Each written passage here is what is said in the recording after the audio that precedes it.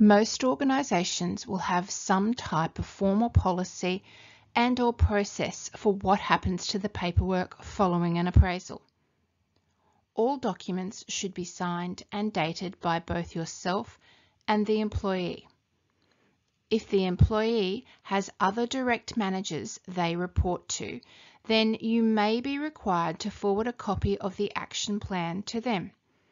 Depending on what tasks are on the action plan, you may also need to consult with others within the organisation to facilitate training, mentoring or other activities.